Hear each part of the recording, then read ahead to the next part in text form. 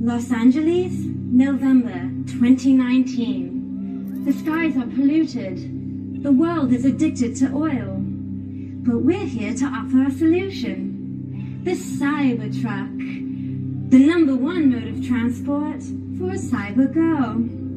The greatest evolution in vehicular, fashion, and function. As Tesla's Cybertruck continues to break the internet and supply fodder for endless memes, I'm putting my investor hat on and explaining why the Cybertruck is pure genius and what it means for Tesla's bottom line. First of all, the Cybertruck had to look the way that it does. There's been endless talk and debate about the polarizing design, but everyone seems to be missing an important fact. Its form is a manifestation of four key criteria Tesla had in its creation. The Cybertruck must be low cost to produce and therefore to buy have extremely high utility and performance, more than any comparable vehicles, be very efficient, aerodynamic, light, and be safe. Let's look at each of those in detail. Low cost.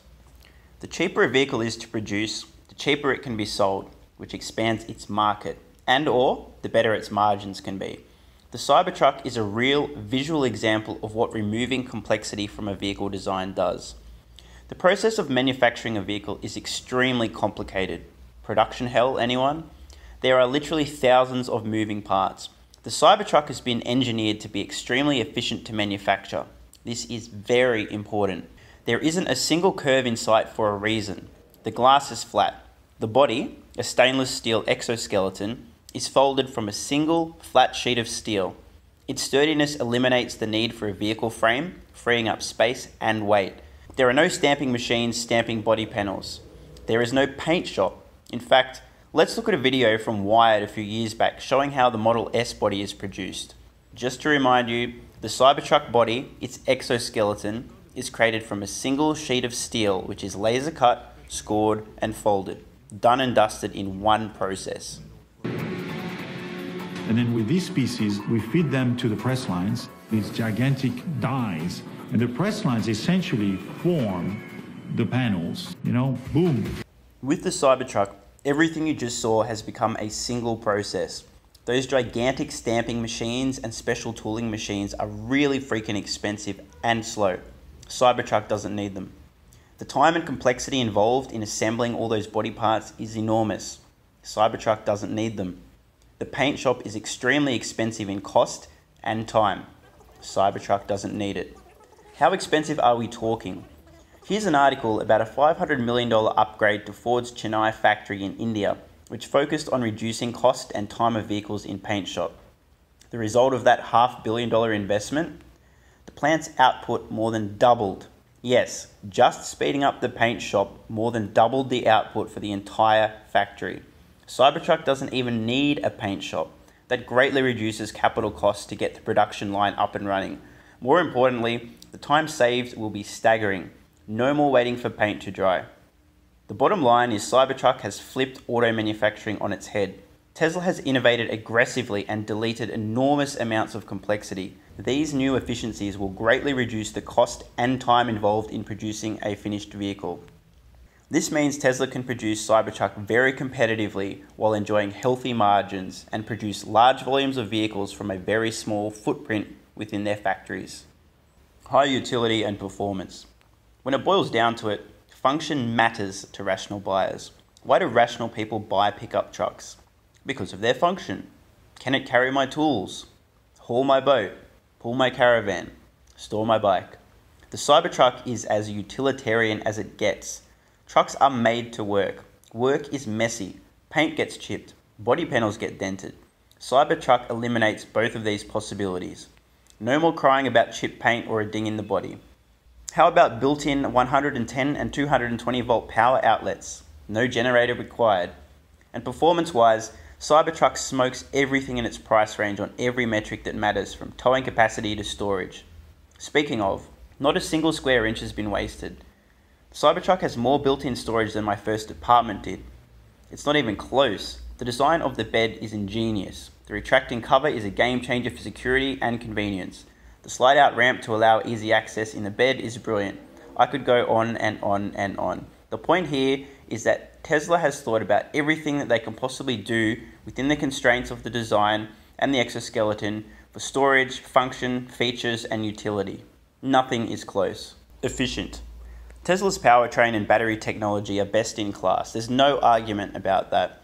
They're currently years ahead of the competition, and the 500 plus mile range Cybertruck suggests a battery breakthrough announcement is around the corner, which will push Tesla's lead out further. I'm sure this has something to do with the Maxwell acquisition.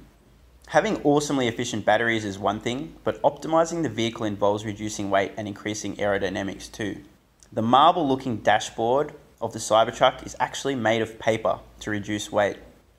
Its 3mm steel exoskeleton is heavier than the aluminium often used in bodies, but because it is so sturdy, a traditional vehicle frame is not necessary, which reduces overall weight.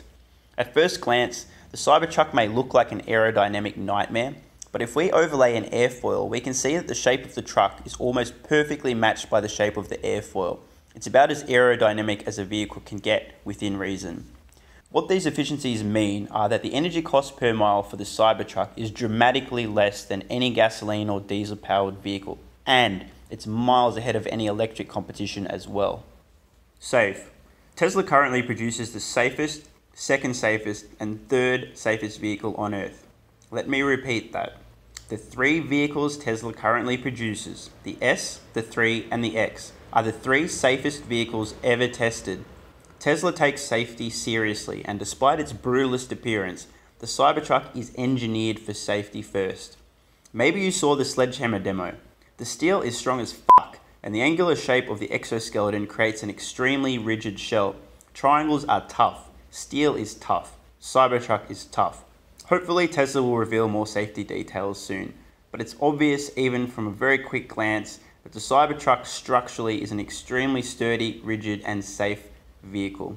Let's recap. Tesla's Cybertruck is function over form, with a hint of style sprinkled over the end result.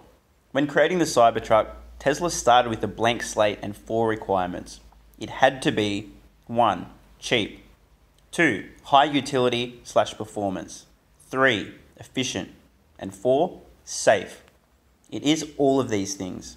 The Cybertruck is cheap, fast, and efficient to produce from a tiny factory footprint. The Cybertruck is mass market affordable, starting at 39,900 US dollars. The Cybertruck has much more function than anything in its price range. The Cybertruck outperforms anything in its price range. The Cybertruck is efficient as hell, way lower cost of ownership than anything comparable. The Cybertruck is super safe. Oh yeah, autopilot. So what does this mean? No other automaker can compete with Tesla on all four fronts cost, utility, efficiency, and safety, unless they copy everything, including the exoskeleton cut and folded from a single sheet of steel. Oh, and then they still need to somehow have equivalent battery technology or suffer lower margins. My prediction? Cybertruck's design will become the new normal for function based vehicles. Consumers who want bang for their buck will no longer be willing to pay for substandard performance or functionality. Stubborn automakers will watch in dismay as Tesla eats their lunch Others will sheepishly copy Tesla's design to compete on cost. Most of them will be too late. Due to its simplicity, Tesla will be able to produce Cybertrucks very rapidly from a tiny factory footprint. Add to this the potential of Maxwell's dry battery electrode technology, which would reduce costs and free up massive amounts of floor space in existing factories, and we could see Cybertrucks rolling off production lines at unbelievable rates. From a Tesla investor's point of view, this is great news. For existing automakers, the message is clear copy Cybertruck or go bankrupt. So, what do you guys think? Do you believe that everyone is going to be forced to copy the Cybertruck design because it's so efficient and cost effective to produce that if they don't, they simply will not be able to compete with Tesla on any meaningful metrics like cost? Or do you think that I'm completely crazy and I should stop smoking pot? By the way, I'm not going to. If you enjoyed the video, hit the like button, leave a comment below, share your thoughts. If you've got any ideas for new videos, I'd love to hear from you. And of course, if you enjoy this kind of content and want to see more, subscribing to the channel would mean the world to me.